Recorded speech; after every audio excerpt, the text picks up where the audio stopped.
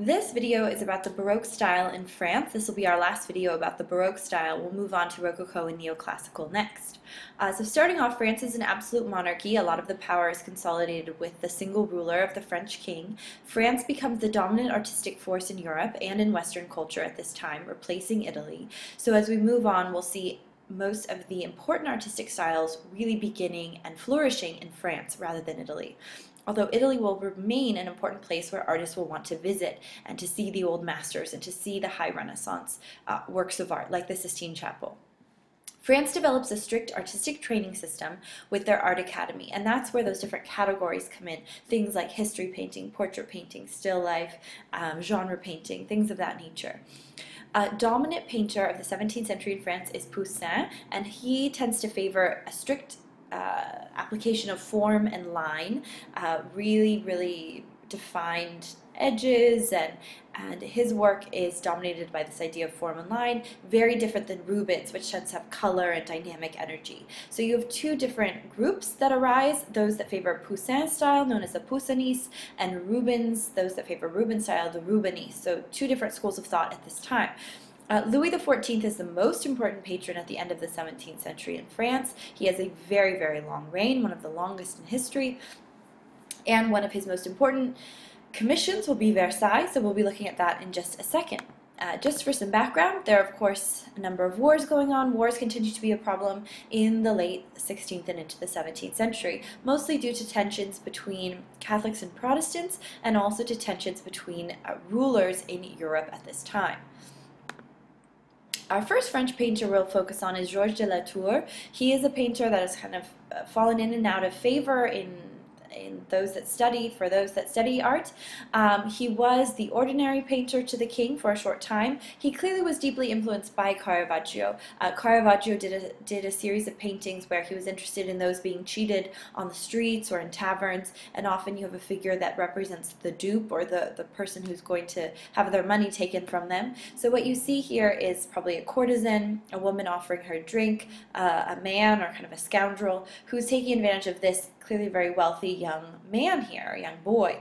Um, he has the most money in front of him.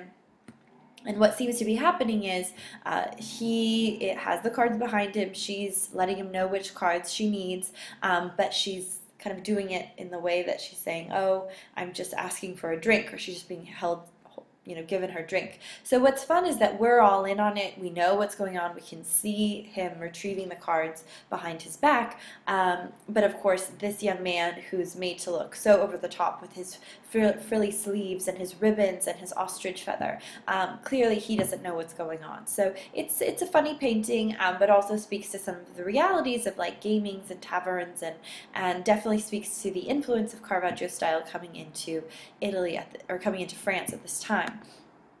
Georges de la Tour also did a series of penitent Magdalens. So here we see an image of the Magdalene kind of contemplating her previous uh, sinful life. So this legend of the, of the Magdalene as this sinful prostitute develops. And so we see Magd the Magdalene looking at a very luxurious mirror. A mirror at this time is very expensive. So it speaks to ideas of vanity and wealth. She's kind of gazing into it as a reminder of her previous life, but she's holding on to a skull, which is a reminder of mortality, desire for salvation. And the light, of course, can symbolize the divine. Um, it can symbolize the light of Christianity being shown onto her. Um, but it's a very quiet, contemplative image that would allow you to pray and would allow you to reflect. And Georges de la Tour is really showing his ability with light, and he tends to cover up uh, the light source, so we can we can just see the top of the flicker of the flame, but it's mostly covered up, um, allowing those light effects to really show off in that deep shadowy effect, similar to Caravaggio's tenebrism. Uh, so here's our first example by Poussin. So clearly Poussin is a history painter. He's dealing primarily with grand narratives from ancient Greece, ancient Rome, so, and also the Old Testament. Stories that you can draw important morals from, and also stories that are somewhat unusual, which is makes them kind of fun. Um, so what we see here is a story of the burial of Phocion, and he set it in a grand landscape with the intention that this is ancient Greece. And the story goes that Phocion was accused of being a traitor, he was executed, and then only after he was executed did they realize, did the mob realize that they'd made a mistake. And so the story here is really to indicate the dangers of a mob mentality, the dangers of kind of being swept up in the moment. Um, so you have here a good man who was Phocion, whose body is being carried out very sadly out of the city.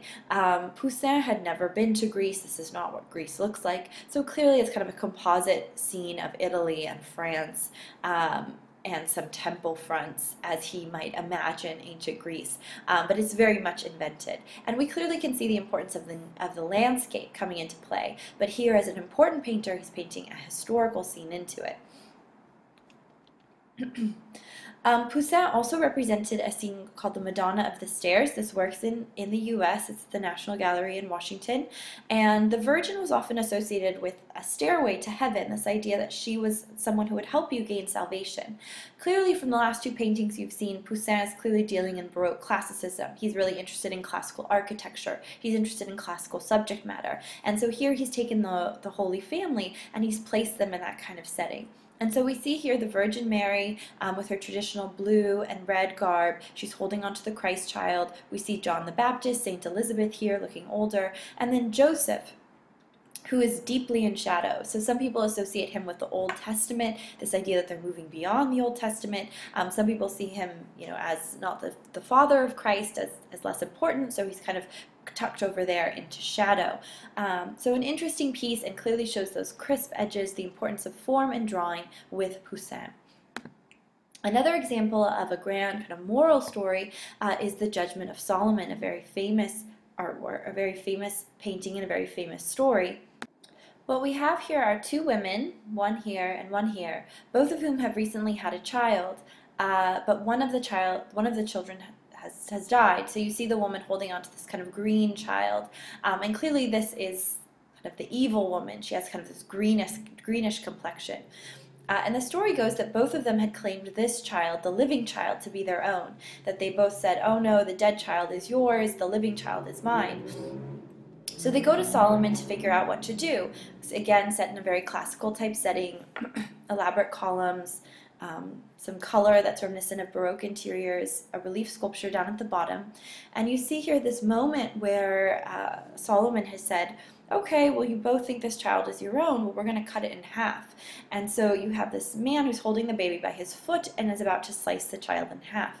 And the woman here, who is the true mother, says, oh, no, no, no, no, stop. I would rather she have the child than the child to die. And so clearly this woman is the true mother. Solomon gives the child to her, uh, whereas the other woman says, yeah, cut him in half, no problem.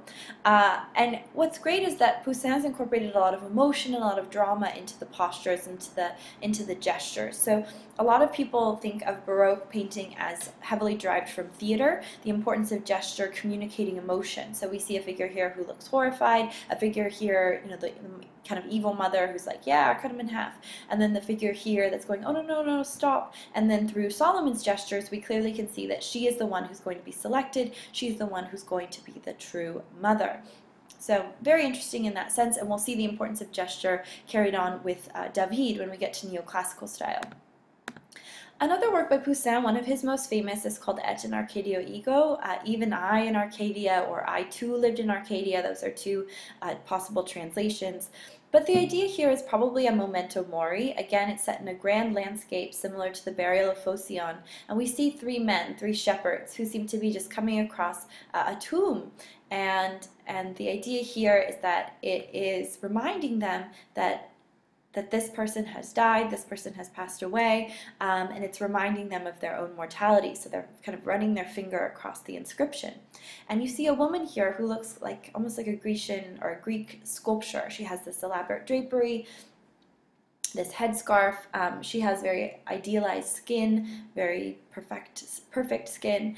And the idea here is that she's kind of comforting them in this moment where they realize what's going on, uh, where know, they're all kind of at different stages of contemplating it, and this woman or this goddess uh, is comforting this one shepherd on the back. So functioning similar to, for example, Masaccio's Holy Trinity, where you have that skeleton at the bottom as a reminder of mortality. Um, the same idea is apparent here, but set in a very classicizing type of setting very classical type of representation, um, clearly building on some of the traditions or clearly creating a, a kind of Baroque style. Um, for Poussin, uh, Raphael was especially important, so we see a lot of the same types of colors, same sweet faces, same um, lot of similarities stylistically, and in the representation of the human body and in color palette. Um, the main competition probably for Poussin was Claude Lorrain, who also enjoyed setting these narratives into grand landscapes. What we see here is uh, the voyage or the embarkation of the Queen of Sheba, who's voyaging to go see the king, going to see King Solomon in Israel. And there's some possible symbolism associated with this that Solomon prefigures Christ and the Queen of Sheba represents the soul, and that these two are being united as she's going off into the sun. Um, and and really, Claude Lorrain is most impressive in his representation of the sun here. This idea that the sun is just rising. Um, you have the Queen of Sheba getting onto this boat and she'll be brought out to her ship, and then they will go off to, to Israel to see King Solomon. And the, the light effects here are quite extraordinary and could be read as having possible divine implications.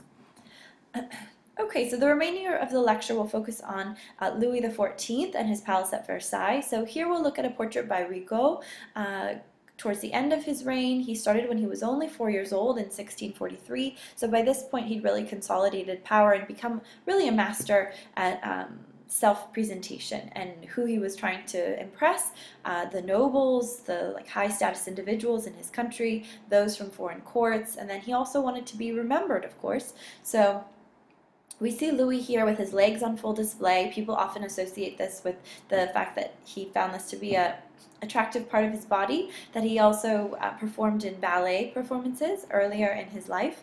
And so we see here that he still looks youthful and strong even as he's reaching the end of his reign. Um, and there's a lot of visual effects to make him look bigger and grander. So uh, you have the legs on display, but then you also have this grand cloak kind of pouring down these stairs. Uh, you can see that it's very expensive. You have ermine fur in the in the interior. You have kind of a velvety uh, satin or velvet on the outside, and then you have his crown, you have his throne, you have a dramatic cloth being pulled back. You can see that he's in some type of grand hall. Um, it was very common at this time to have little drapes along the corners of portraits. But clearly he's a, he's a large figure, he's pointing out his power by wearing his sword, but clearly this is a more ornamental sword, it's encrusted with gems, speaking to his wealth. So he's overwhelming us with grandeur, luxury, size, uh, expense. So all of this is, is playing into the visual richness that would be part of the art of Louis XIV. So Louis XIV took a hunting lodge at Versailles, just outside of Paris, and transformed it into this massive palace which we see here. Um, it was expanded and, and, added onto by later rulers Louis XV and Louis XVI. Um, it had grand gardens and additional structures built out in the gardens. And so this is all modern here and here. And uh, what we see here are some of the gardens. There were facades that were created in the Baroque style where because it is so large you kind of have to punctuate the facades with different columns and what kind of seem like temple fronts in different areas. You have to make it go in and out so that it doesn't become too boring and flat. Um, adding sculptures to the top similar to the Piazza of St. Peter's um, where you kind of have those sculptures punctuating the different columns. The gardens themselves demonstrate the idea of nature under control in certain areas, man-made canals and, and bushes that have been sculpted and, and hedges that have been sculpted to great perfection. Uh, as we zoom in on the facade, this is where you would have seen the Hall of Mirrors, but first of all, let's look at Louis's bedroom. So Louis associated himself he was like to think of himself as the Sun King at the center of things. His bedroom was right at the center of the palace, and this would be a place where he was constantly on display. But you can see the rich reds and golds playing into this idea, um, and the idea that all of Versailles was really a performance. Um, part of this performance was also the Hall of Mirrors, where gatherings could be held and receptions could be held, um, where they could impress foreign visitors. Uh, so of course there are a number of mirrors here which were extremely expensive. Chandeliers, there would have been gold and silver furnishing that, that didn't survive the revolution unfortunately. Um, But what we see here is a space that's really supposed to overwhelm you in size. The mirrors make it seem even wider than it actually is. Uh, the different colored stones and woods and, and paintings all play into the visual richness that's very common in the dynamic or ecstatic Baroque style. Uh, and Versailles was a place where all the nobles were expected to be. This was a place where Louis could keep an eye on them. So it was a grand space, but probably not as, as beautiful or as easy as we would imagine it, um, but definitely gives us a sense of the Baroque style in France.